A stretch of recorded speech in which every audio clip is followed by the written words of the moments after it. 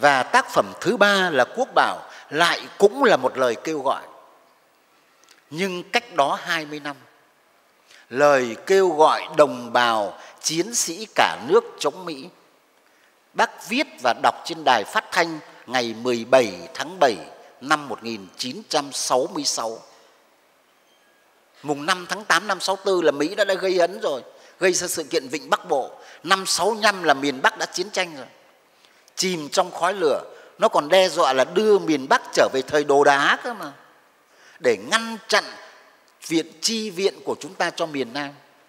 Bác triệu tập hội nghị cán bộ chính trị đặc biệt, hội nghị chính trị đặc biệt được ví là hội nghị diên hồng của thời đại mới cơ mà và sau đó bác có lời kêu gọi trong lời kêu gọi đó quan trọng nhất là cái chín chữ này này không có gì quý hơn độc lập tự do. Chín chữ. Ta vào lăng bác, viếng bác đấy, thì trên tường đấy là chín chữ vàng của lịch sử. Chân lý lớn nhất của thời đại đấy, linh hồn của cái lời kêu gọi này. Lời kêu gọi ấy cũng là quốc bảo.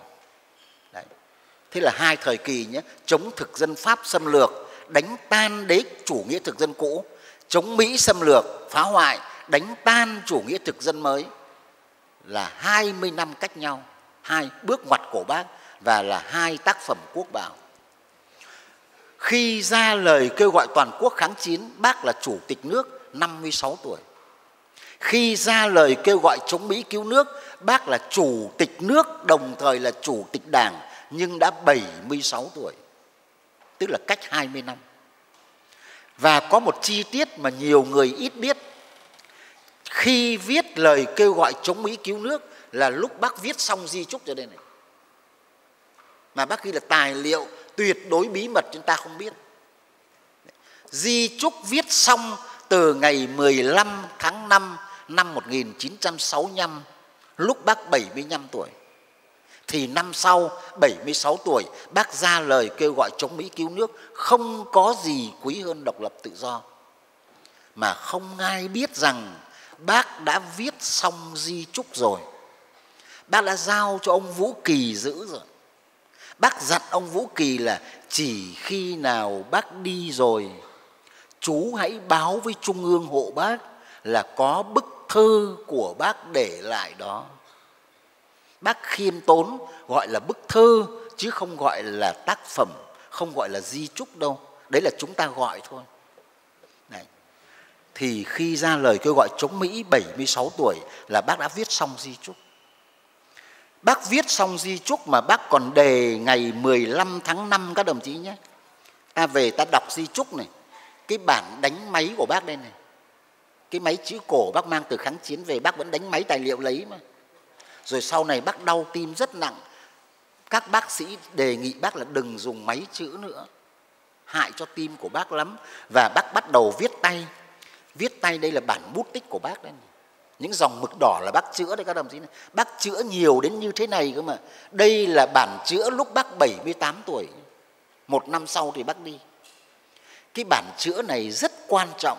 Chứa đựng bao nhiêu chủ tính chiến lược rằng xây dựng đất nước trong tương lai đàng hoàng hơn, to đẹp hơn như thế nào.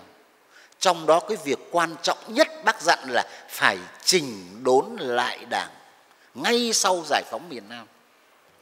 Đấy. Thì bác dặn ông Vũ Kỳ như thế. Đấy. Thì khi ra lời kêu gọi chống Mỹ là đã xong di trúc rồi mà ta có biết đâu. Mãi sau này khi bác mất, đảng công bố một đoạn di trúc thì ta mới biết là có di trúc của bác mà biết có một đoạn thôi phải 20 năm sau, kể từ ngày bác mất, đảng mới công bố toàn văn di trúc từng năm một của bác bác viết những gì bác chữa những gì và bản cuối cùng bác chữa trước khi mất 4 tháng bây giờ chúng ta có cả một cuốn tài liệu quý như thế này trong tay này và bây giờ coi là di trúc là quốc bảo của chúng ta đấy. đấy. Thế thì lời kêu gọi chống Mỹ đấy cũng như lời kêu gọi chống Pháp là hai văn kiện chính trị pháp lý, hai tác phẩm chính luận đặc sắc của bác được coi là quốc bảo. Ta nhớ là chống Pháp năm 46, chống Mỹ năm năm 65, 66 là bác viết lời kêu gọi. trên thế giới này không có vĩ nhân nào mà những lời kêu gọi dân tộc thức tỉnh dân tộc mình mà lại trở thành quốc bảo chỉ có hồ chí minh